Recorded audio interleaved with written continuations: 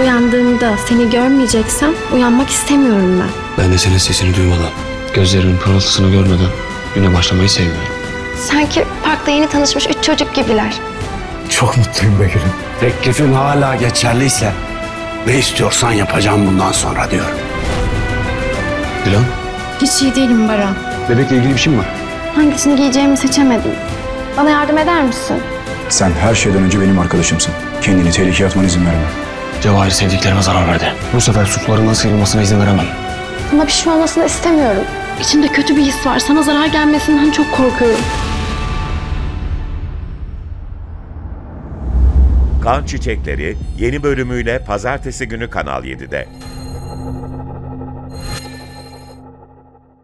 Daha fazla video izlemek için kanalımıza abone olabilir, ilk izleyen olmak isterseniz bildirimleri açabilirsiniz.